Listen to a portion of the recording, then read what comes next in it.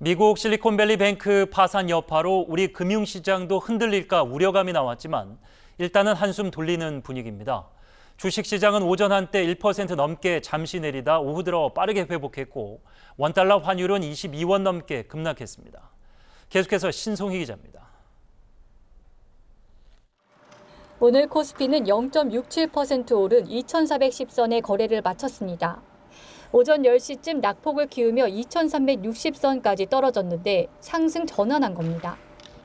코스닥 시장도 장중 2%대 하락한 이후로 낙폭을 줄이면서 오름세로 마감했습니다. 원달러 환율은 급락했는데 외환 시장에서 22원 하락한 1,301원으로 거래를 끝냈습니다. 사실상 미국의 실리콘밸리 뱅크 파산 여파로 국내 금융시장에 이렇다 할 큰 충격은 없었던 겁니다.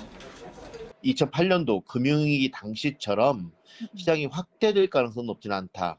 일부 개별 종목군, 업종 테마 중심으로 매수세가 유입되면서 견고한 모습을 좀 보이고 있다. 시장은 실리콘밸리 뱅크가 신생 벤처나 스타트업과 주로 거래하던 은행이란 점에서 리스크가 크지 않다고 결론을 내린 겁니다. 금융당국도 시장 현황 점검 회의를 열고 이번 사태와 관련해 위험도가 크지 않다며 필요시 신속한 시장 안정 조치를 시행하겠다고 언급했습니다. 하지만 안심하기에는 아직 이릅니다.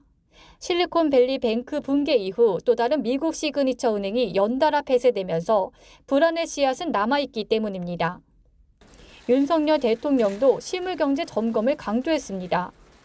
미 당국의 대처, 국내 금융시장 및 실물 경제에 대한 영향을 면밀히 점검하라고 지시했습니다.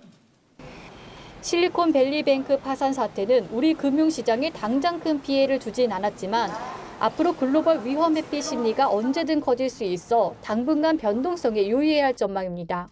OBS 뉴스 신송입니다.